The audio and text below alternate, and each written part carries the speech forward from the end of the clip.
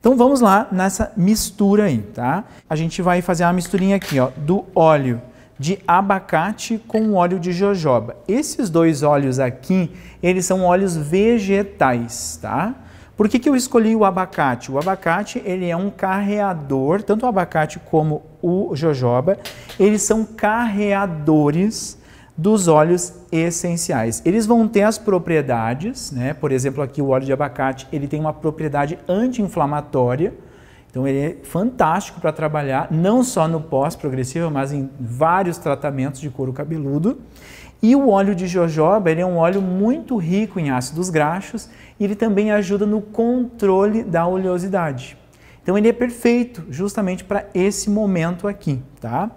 Eu sempre tenho usado uma quantidade, duas vezes a quantidade do óleo de abacate para uma vez da quantidade do óleo de jojoba, tá?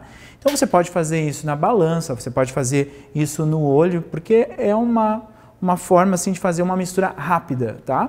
Bom, fazendo então aqui o, a, a, junção agora dos óleos essenciais, lembrando que o óleo essencial precisa ser manipulado com cuidados, tá?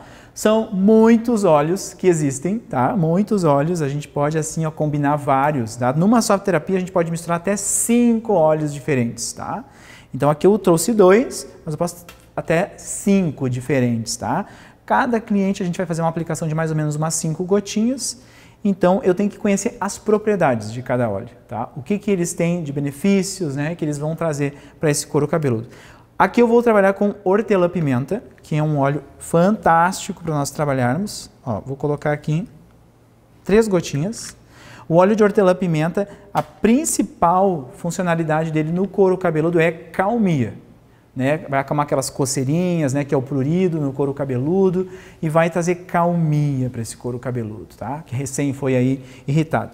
E o segundo que eu estou trazendo aqui é o alecrim. O alecrim é um óleo assim, ó. Hoje acho que um dos óleos mais utilizados na terapia capilar, porque ele ajuda na limpeza do couro cabeludo, tá? Coloquei também três gotinhas dele.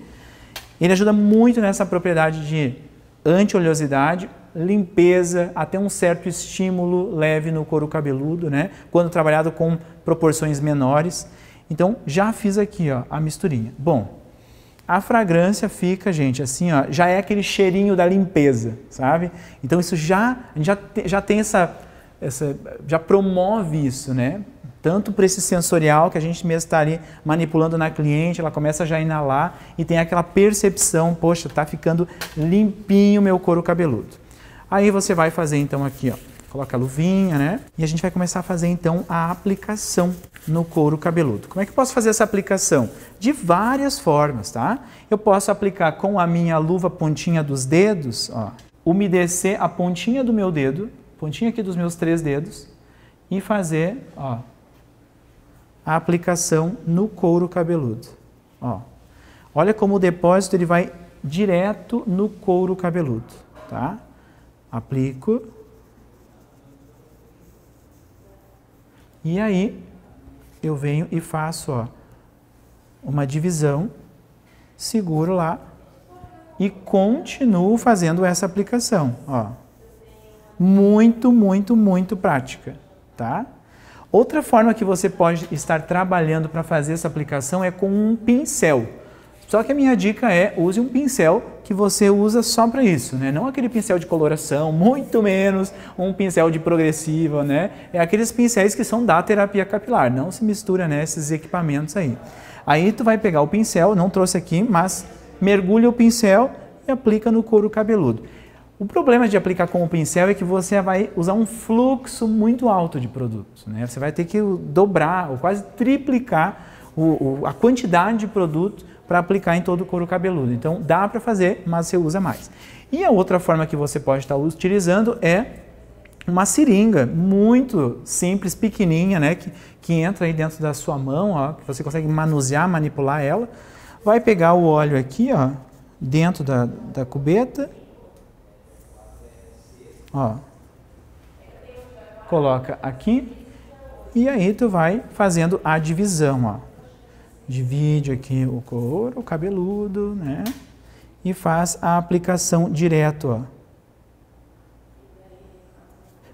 só tem que cuidar porque às vezes o fluxo ele sai forte, tá? Para não perder a massageia e vai para a próxima, ó. É muito sensível, né? Ó. Você pode deixar encaixado bem dentro da mão, tá? E vai dividindo. Olha como é prático. Olha aqui. Ó, e passa o dedo para fazer a, a espalhabilidade do produto, né? Ó, aqui, aqui. E assim, ó, já apliquei toda essa região. Muito prático, tá vendo? Ó? Aí você pode trabalhar a parte de trás fazendo esse movimento aqui, ó. Aplica, faz essa divisão. Pode ser uma divisão vertical. Aqui, aqui a gente já tem a aplicação. Olha como o óleo ele vai se espalhando fácil pelo couro cabeludo, né? E o bom da gente estar tá aplicando, ó, seja com os dedos, tá? Ó, prático, bem prático, tá? Só tem que deixar a linha bem à mostra, ó, tá? Pode ir dividindo assim ó, com o dedo mesmo ou com o auxílio do pente. Aí cada profissional tem o seu jeitinho de aplicar, né?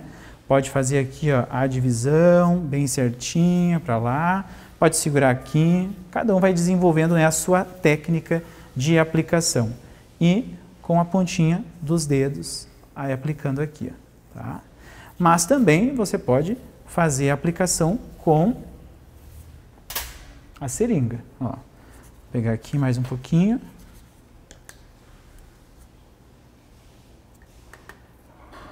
Aqui. Tirar o ar. Ó, deixa ela dentro da mão e bem de leve, ó. Aplica só as bolinhas.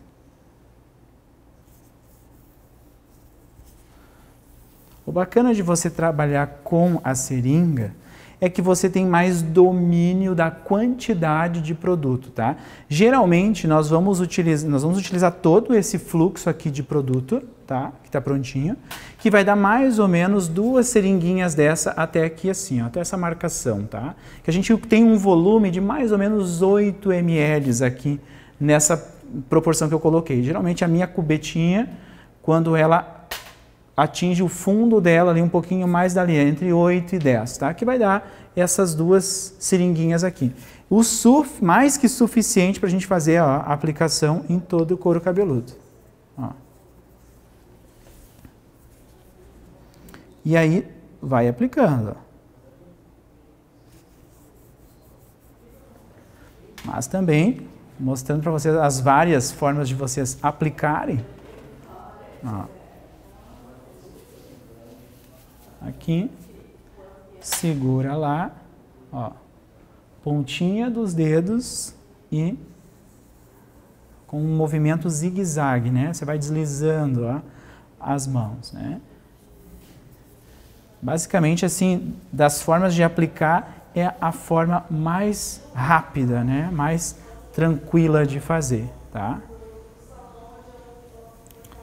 E vou aqui, ó, fazendo a aplicação em todo o couro cabeludo, ó.